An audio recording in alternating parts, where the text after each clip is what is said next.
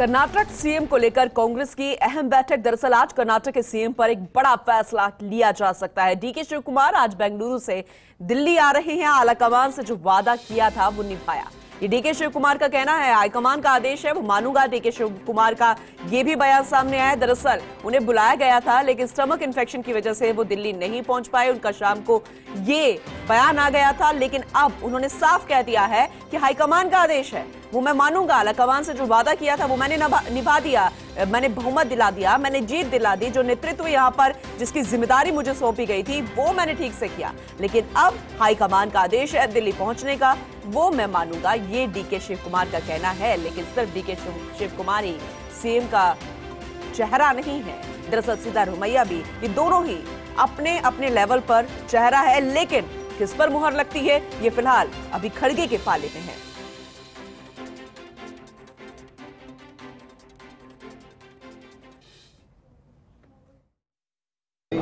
I don't want to speak anything now. I don't want to comment. I don't want to speak. Whatever I have spoken, I have spoken already.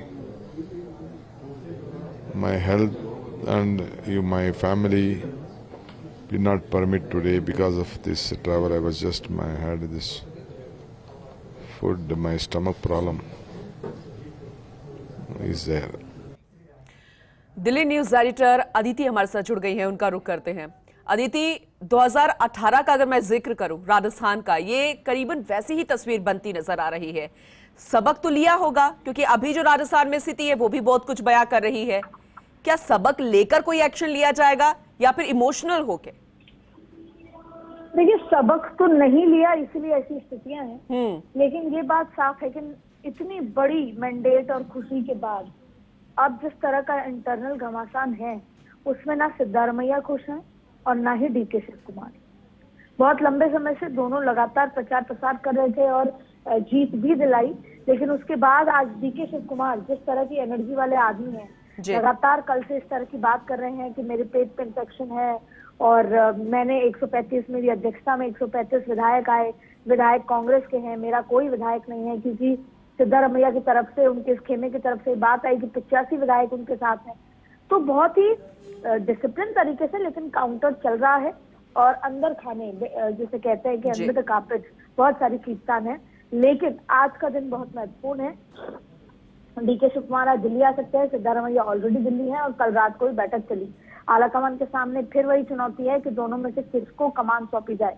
लेकिन पूनम एक बात तय है अगर Siddaramaiah CM बनते हैं और डी के शिव कुमार डिप्टी सीएम बनते हैं हम्म। तो ये सरकार पाँच साल चल पाए बहुत शांति से इस पे एक बड़ा प्रश्न चिन्ह होगा।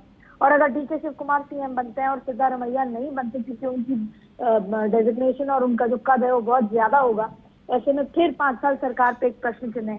और फिर तीसरी बात यह है कि कोई तीसरा व्यक्ति आके बनता है तो फिर खेमेबाजी होगी और फिर वही सवाल की सरकार पाँच साल शांति से चल पाएगी क्या? और आखिरी ऑप्शन है कि अगर मल्लिकार्जुन खड़गे को भेजा जाता है तो ऐसे में फिर मल्लिकार्जुन खड़गे एक व्यक्ति तीन पद कैसे संभालेंगे फिर कांग्रेस पर सवाल उठता है।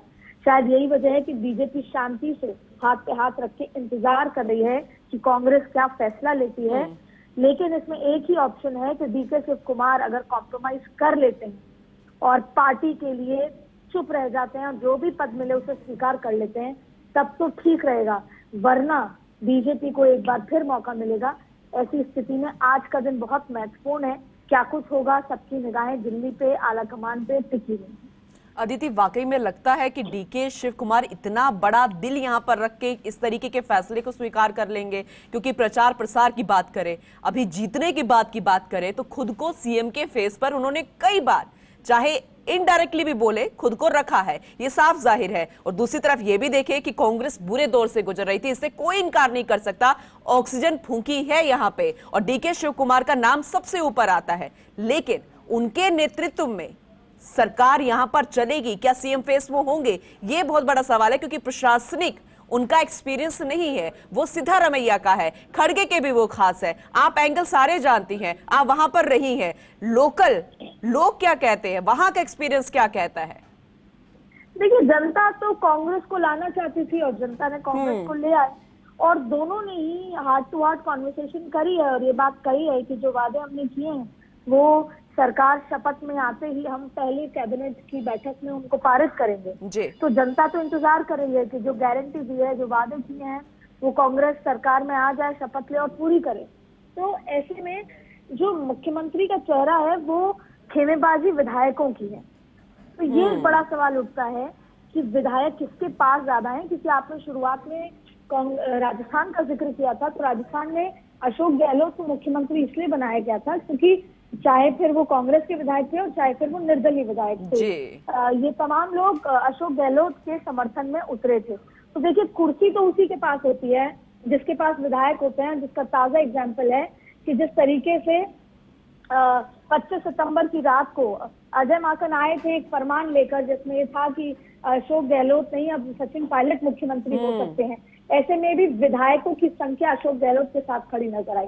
तो राजनीति में तो जिसके पास विधायक है उसका पलड़ा भारी है उसी के पास कुर्सी होती है। तो अब ये नंबर गेम है ऑब्जर्वर्स जो हैं वो लेकर आ गए हैं नंबर गेम।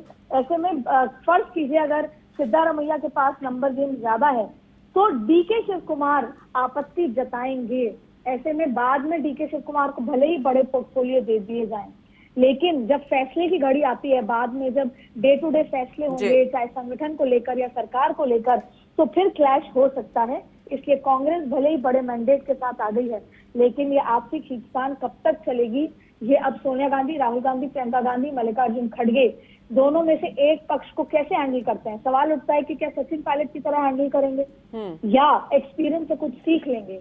ये आने वाले दिन ही बताएँगे लेकिन शायद कहीं ना कहीं आला कमान को ये अच्छा लगता है कि दो पावर सेंटर हों और उनकी वैल्यू और उनका पोजीशन बरकरार रहे। चलिए अदिति बहुत बहुत शुक्रिया विस्तार से जानकारी देने के लिए।